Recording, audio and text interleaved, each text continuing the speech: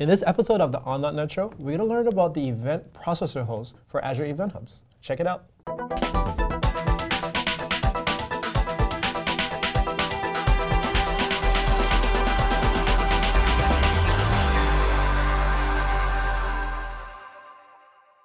Hey everyone, welcome to another episode of the On.NET Show. And I have the folks from the Azure Event Hubs team joining me again. And we're going to talk a little bit more about event processing with Azure Event Hubs. So in, in our last episode, we talked about how Event Hub specifically is used for very high throughput, Correct. you know, multiple consumers, multiple producers, right. um, you know, processing information.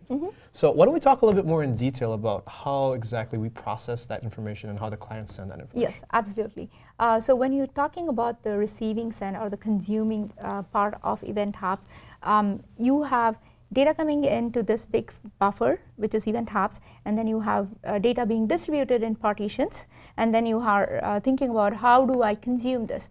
Now, we briefly touched upon, you know, okay, you have the event receivers and you're consuming uh, from all these um, uh, partitions in the event hubs.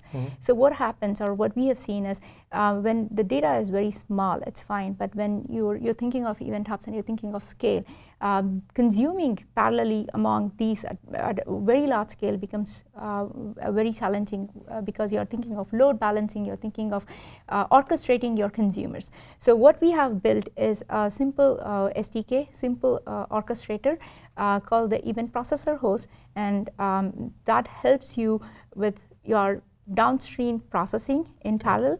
Um, and Serkant is probably going to dig deep into what components of event processor is. I mean, what is event processor host? What components does it have, and how do you, you take advantage of this simple orchestrator? Okay, sure. So let's do that. So, Serkant, what do, why don't So we in talk the about what previous is episode, we have seen how you create an event temp client. On top of that, you create the receivers, right? So each receiver is now dedicated to receive from a single partition. Okay. So when it comes to you know large number of partition scenario, so how do you you launch your um, like receivers and then start managing them? Mhm. Uh, so in order to solve this issue, we have a wrapper around the low-level API, which is the receiver itself. So basically, you fire up an event hub process roles, and then this process roles will go and then uh, start creating the receivers um, and start consuming the messages from those receivers.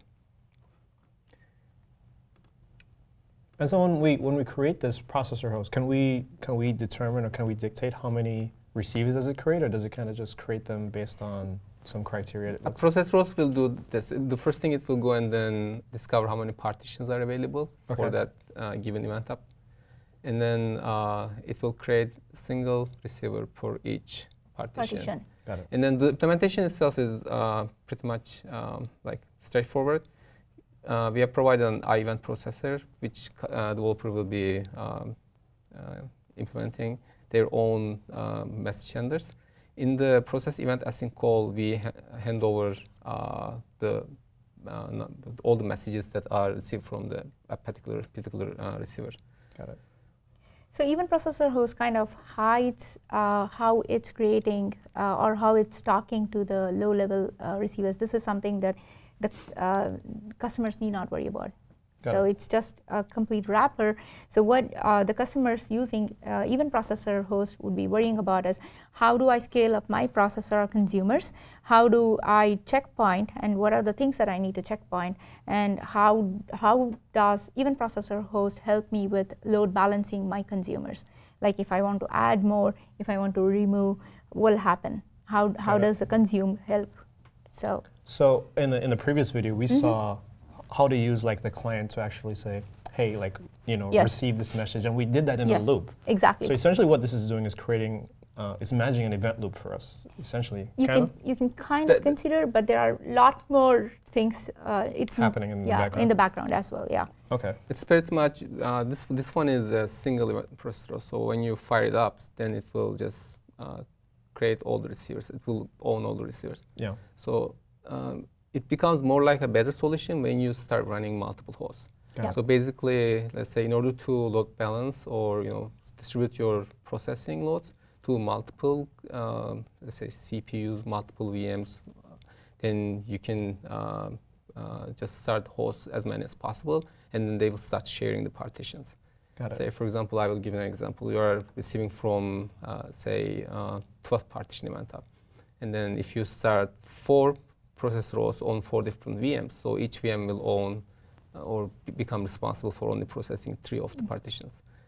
Got it. So could this be a situation where I have something like Docker or Kubernetes, Mhm. right? And I might have an events host processor Correct. That's per, correct. It will, per pod or per container, right? And now I, I spread these across like a bunch Exactly. of nodes. And That's then I'll- correct. That's- and then that'll help that's you if you add in more nodes. Hmm. You can just scale up your consumers so that you're increasing your parallel processing.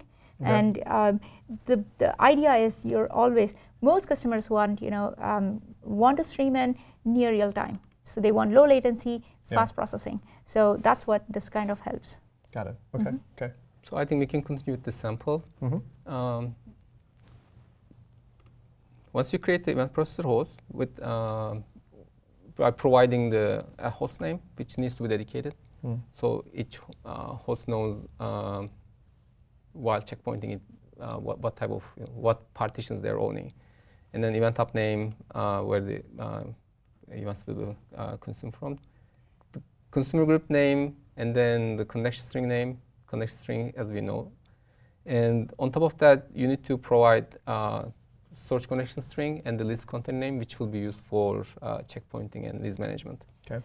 So event processor host has this checkpointing mechanism uh, where it's just uh, checkpointing and leasing um, into a storage, into a separate component, Mm. uh, which for this, I mean, for by default, um, we use the Azure Storage, Blob Storage, uh, blobs to define the leases and then um, checkpoint uh, and load balance among the consumers. Yeah. Um, we do have an option wherein if anybody wants to bring in their own store, um, they can have an interface. We have an interface they can implement and then um, use their own store for checkpointing. So the the storage component is only for checkpointing and leasing. Got it. So that sounds for me Mhm. something very similar to what the folks in Durable Functions do. Mhm, mhm. I know they have a, a, a checkpointing mechanism, Correct. probably a little bit different to what you're Mhm, talking about. mhm. Um, but they also use blob storage for, Correct. for, for Yes. those types of things. Yeah, that's right. It's mainly for leasing and checkpointing. Got so it. it's easy when you're just taking your that load from your orchestrator and uh, maintaining it in a different store. Got it. Got it. Mhm. Okay. Okay. And All right, if you switch back to our sample, Mhm. so uh, once you create your event process rows, basically you should, uh, in order to start running it, you register it. And then register call will start and then discover the partitions, and then your host will start grabbing uh, partitions and create receivers on top of them and then start receiving. You, basically, uh, you're trying to register a host into the service saying, hey, this is my listener, this is where my data from Event Hubs will be coming into. So Yeah. that kind of a thing that's happening in the background. Gotcha. Okay.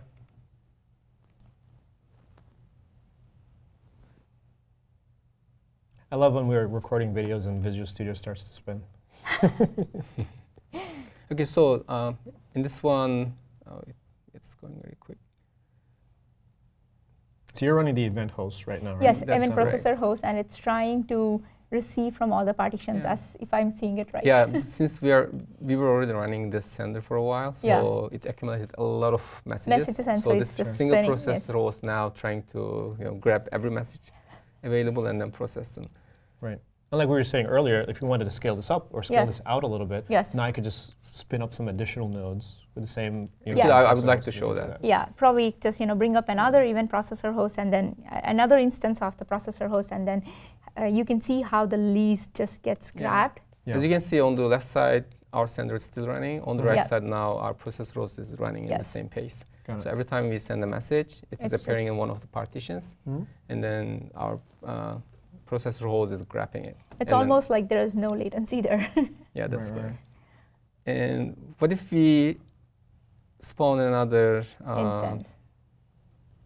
instance of processor host?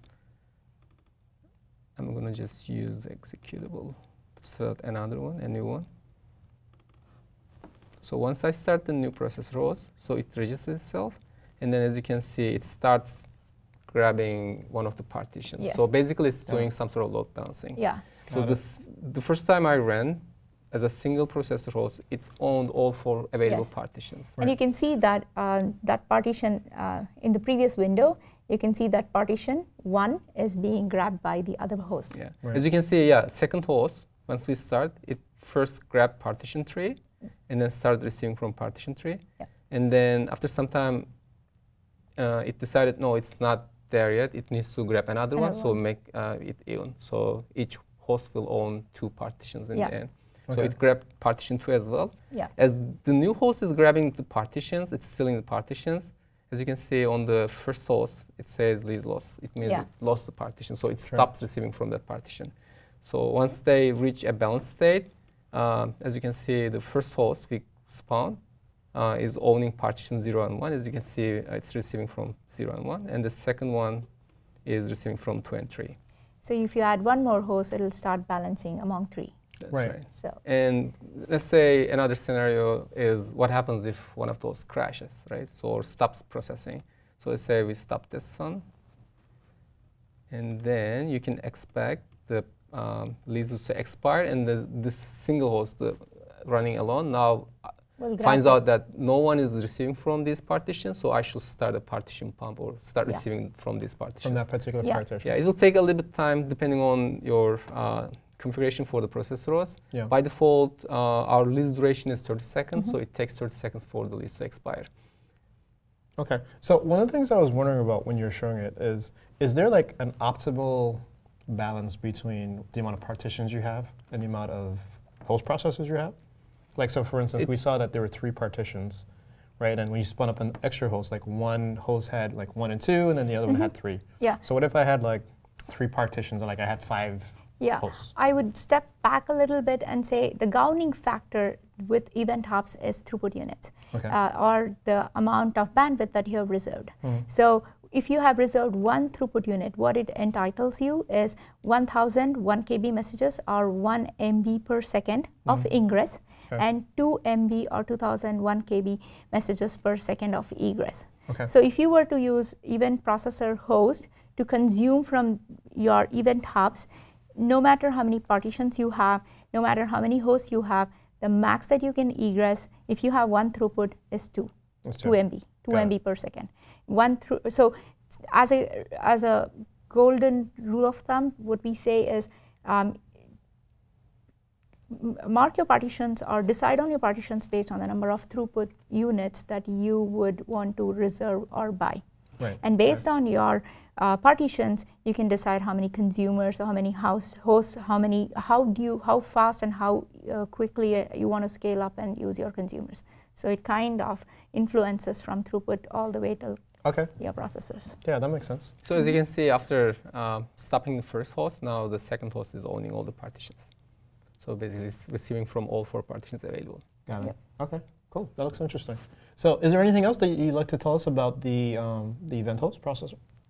I think that's pretty much it. That's about it. Shubha might have. So I know a lot of folks are probably going to be looking at this video and wondering, well, where can I get this code and where can I see the samples? So we got to make sure that you know post video Yes. we're going to have these on GitHub somewhere Yes. or some public repository, and we'll add it to the show notes too, so people Uh, can check that out. absolutely, yes.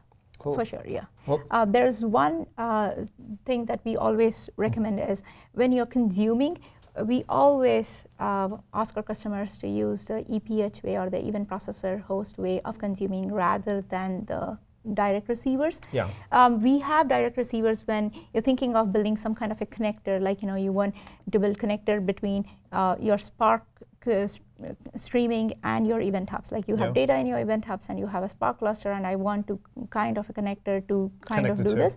So some kind of a connector, some kind of a heavy body uh, implementation that you're building, uh, your low-level uh, receivers help a lot. Otherwise, um, all the load balancing, all the checkpointing that you need to take care of, um, EPH kind of offers you that. Right. So um, that is that is like a best practice or recommendation from the product group that we have. Cool. Mm-hmm. Awesome. Actually, and as you were saying that, uh, another scenario kind of popped Mm-hmm. into my head. So, do we have like Azure Functions bindings for these things? Like, Yes. Can I have my um, you have the yeah. Azure Functions consume this thing and Yeah. then they could push that out to my Spark That's right. if I wanted That's to? right. And uh, Azure Functions also in the background uses event processor host Ah, okay. um, the uh, the binding uh, Azure Function binding from Event Hubs to Azure Functions Mm. is kind of using the e- EPH as well. That's great. So if. I wanted to, to do this in a serverless way, then you know I, I won't necessarily Yes. have to write that event processor host code. Exactly. You know, Yes. it's kind of just already built into the, the platform, so that yeah. works out great. Absolutely. Yes. That's right. Cool, awesome. Mm-hmm. Well, thank you all so much, man. This was this is a lot of great information. And thank you all Thank for you. watching. This is another episode of the On .NET Show. and We learned about how we could use the Event Host processor for Azure Event Hubs in .NET.